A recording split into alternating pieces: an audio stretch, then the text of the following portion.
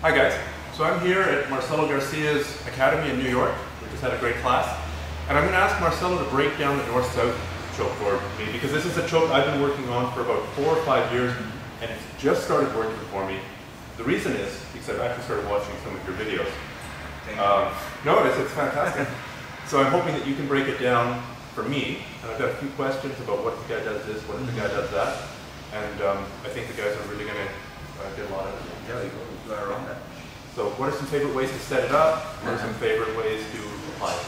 Let's let's start from like a, from the base, from the like a, the fundament of, of the text of the position, the north south position. Okay, can you use it? First of all, I want to concentrate my whole energy on your neck. I don't want you to have like arm between. I don't want you like uh, get your chin inside. I mean, you gotta find like a, just a clean choke. So especially in no-gi, you see a lot of times that people are just like, all right, I'm gonna leave my hand closed, my elbow stuck, and you're not you're not gonna have submission on you. So you have to just look for to find a way to clean up this. And the base is like the arm that's close to me. I have one way to take your arm out. That's just one way. We have different way, but just the first way, I want to just use my chest to push your arm out of your uh, of your neck. Even if you reach like a, your neck with, with your fingers, your hand, no, no, like It's not enough to, to protect the choke. So that's what I mean. I just want to make sure like your hands come out, you understand? And the other hand is still there, so the other hand I can just like put a lot of weight to get out. So now I can see like it's pretty much like clean space to me just go around the neck. So what I gotta do, I'm gonna just let it go your head from this side and switch on the other side. I don't wanna go too deep because it's gonna make me like I lose my balance. I wanna set up in the position that I'm gonna make me like stay flat and solid and, and have on your neck. And one thing that I gotta be careful, I don't want to let you move your head. So if you other side, that's what I don't wanna do. So I have a chance before you do this, like just land with my ribs on the side of your face, that is gonna just stabilize like uh, the position that I need to finish the choke. So if I stay over here, that's the problem. Is like uh, the only problem that I see. You can just roll me over, like this. So as soon as I stop your head, I have to run back and just like stay really lined up and spread out my legs and just flat the position. The other hand, this is the first hand. Second hand, I just put on like this, and then I'm gonna be like position like that. And now I'm gonna just like drop my shoulder. So if your armpit that's right above the middle of my throat, Yes. it feels like. And I, I don't have to, doesn't have to squeeze much. You have to just like a, this is enough. Like, just weight on, on the neck is enough to make the guy side. And hide your head because maybe, maybe if you leave your head too high the guy's gonna like knock out. So push your head away. So I just avoid my head.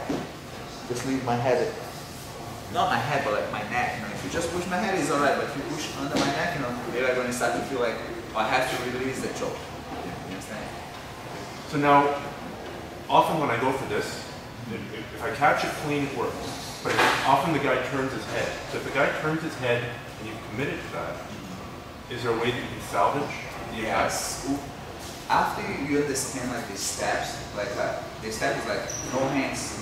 You don't want to have no hands. So I want to just find a way that you leave your hands like a, a, away of your neck. So if your arms away of the neck, I have a clean uh, situation to work on the choke.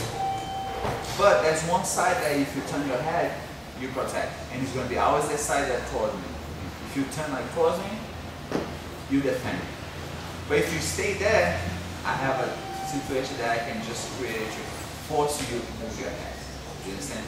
If you turn the other side, I still do the choke quickly. But if you look towards me, the choke is defended.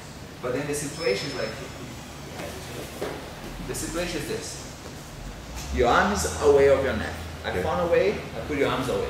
I can pretty much, like, if you have your hands like this, I can find a way to just keep your arms away of your neck. But like you said, like the person just turned towards me, and that's more than enough to defend the choke. But if you stay over here, I'm gonna just force this the position. And the position is, I'm gonna stay, I'm gonna get the lowest possible to get my ribs on, on your chin to make your head turn. Like that. And it's like a, it's like a, I'm gonna just like lift it up your head. If you really flexible, and if you maybe you have more flexibility than other people. And if you put your head like a, maybe if you turn your head, but it's not gonna happen. If you turn like a, a lot, I'm pretty sure like a, maybe I cannot go that low to lift your head. But I promise you, you cannot stay there for a minute. So if you put your arm and the guy turns his head, you take your arm out, you reset, Yes. and you go again? Yes. I believe like in this show, if you don't, I like to say like if you don't traumatize the other person, he's gonna give you later. So don't squeeze on his head, don't show him you want too much. So just try. The guy defends, so just stay over there, stay around, just wait. Sometimes he move his head himself. Or if you're not, you just like uh, maintain the position, go with your ribs and your ribs kind of like uh, push his head. The last question then, Mm-hmm. what if you get the head and the arm?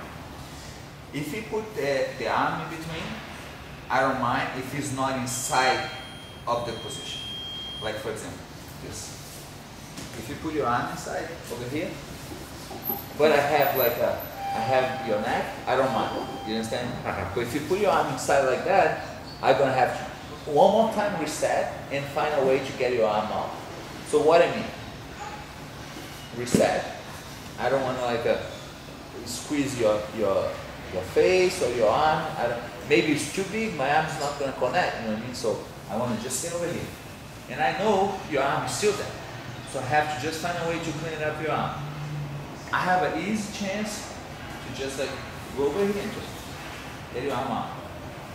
But maybe once I do this, now we have the other arm on your neck, Okay. right? So I clean up this arm, now I have to clean up the other arm. Or maybe you're too strong, you bump me out, I can't release you too much. So I'm gonna have to find a way to like uh, to get your arm out of the way without letting you go. So I keep holding and now we're gonna just like walk something like this, and try to get your arm over there. Your arm is out, so I can go one more time on your neck. Or maybe that's not the way. Maybe we can like. Let me go this way. So I can just like, your arm out. So I can do many different like things that you could just avoid your arm. Okay. Sometimes just to be drop the weight of my hip on your arm, make you kind of choose like, all right, I don't want to really put my hand over here. I want to put my hand below. You gotta just like a, give the person option to like a, to he feel kind of all right. I think if I put my hand over here, I can escape. But you can't escape. You just open more the neck. Well, I know I said that was the last question, but I lied. You've got a lot of students here. Some are big, some are small, some are old, some are young. Is there a body type that obviously this choke works for you really well? Mm-hmm. Is it your highest percentage choke? The north south choke today, between like north south choke and rear neck choke, I think I have a higher percentage uh, success with the rear north south choke than the Okay. rear neck choke. Now, is there a body type that you find has a harder time with this? Really long arms, really short arms, that students who typically have problems? Not strong, weak? I don't see too much problem. I see just sometimes like uh, if the person is really like have a block on his mind and you have to just keep forcing uh, to he understand like uh, which way is gonna be the pressure, you know what I mean? That's the only problem that we have, but it's not everybody. Maybe one person you have to just keep like a forcing more, but most of the time people really have a easy understanding about that. But it takes a lot of practice. You know I mean? I took like a five years, I think, to develop like a the, position that I, am today, or maybe like a, maybe a little bit more. But nobody could explain me anything. Nobody taught me this. So I was like, just so now I'm giving everything already like a train. It's not supposed to take all this all these years. So people are supposed to take advantage of that, know, and learn this move faster.